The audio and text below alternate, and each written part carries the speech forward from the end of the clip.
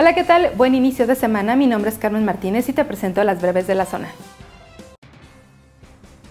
A través de la red social Facebook se ha hecho público un video en el que se observa una ambulancia atendiendo a su traslado a una persona que según el usuario que compartió las imágenes podría padecer COVID-19.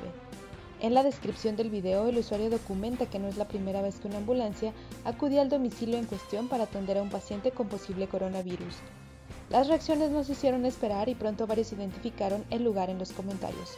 Algunos desmintieron que se tratara de un caso de COVID-19, que la persona en cuestión estaba recibiendo otro tipo de atención y hubo incluso quien dijo conocerlos y saber que padecían otra enfermedad que no era coronavirus.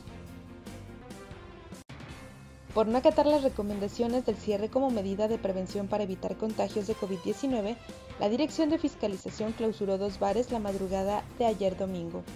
Durante un operativo de revisión se detectó que además estos dos establecimientos tenían música en vivo sin los permisos correspondientes, por lo que desalojaron a clientes por su seguridad.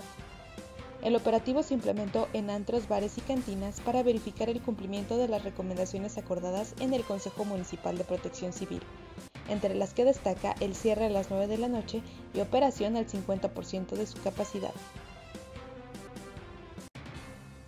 Las prioridades cambiaron. En lo que se define la reactivación productiva y comercial, la industria automotriz de Guanajuato debió enfocar sus esfuerzos en aportar desde su trinchera para que México enfrente a la pandemia del COVID-19.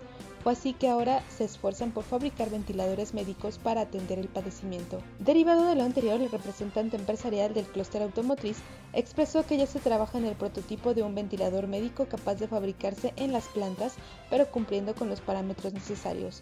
Expuso que hay tres grupos diferentes trabajando de manera paralela. El primero es un grupo que tenía que dar dos respuestas.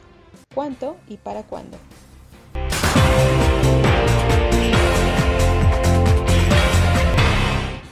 Quédate en casa, pero quédate bien informado con zonafranca.mx y no te olvides de seguirnos en nuestras redes sociales. Más tarde ve el siguiente bloque informativo que te presenta Vania Jaramillo.